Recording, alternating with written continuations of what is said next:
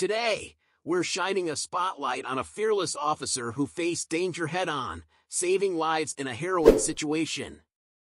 Meet Inspector Amy Scott, the senior police officer hailed as a hero for her courageous actions during a tragic incident at Westfield Bondi Junction. Stick around as we delve into a remarkable story of bravery and selflessness. In the heart of Sydney's bustling shopping district, chaos erupted when a crazed knife man went on a stabbing rampage.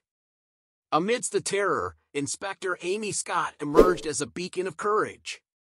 As the first responder on the scene, Inspector Scott wasted no time confronting the assailant, risking her own safety to protect others.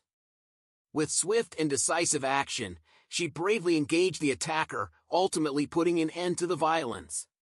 Inspector Scott's heroic deeds didn't go unnoticed. From top officials to grateful citizens, tributes poured in, praising her courage and unwavering dedication to duty. Online, she was hailed as a national hero, with many lauding her fearless demeanor and quick thinking.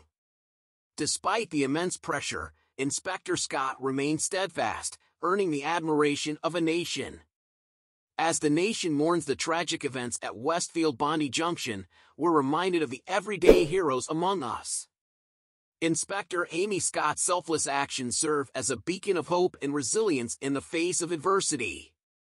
We salute her bravery and extend our deepest gratitude to all those who risk their lives to keep us safe.